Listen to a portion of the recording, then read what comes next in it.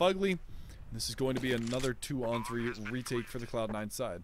Stewie 2K fast through the B halls. They have nobody watching it, or at least nobody up in the halls to watch it.